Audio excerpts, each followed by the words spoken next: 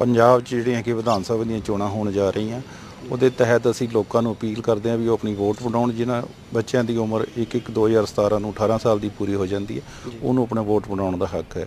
ਵੋਟਾਂ ਨਾਲ ਹੀ ਜਿਹੜੀ ਹੈਗੀ ਲੋਕਤੰਤਰ ਦੀ ਸਥਾਪਨਾ ਕੀਤੀ ਜਾ ਸਕਦੀ।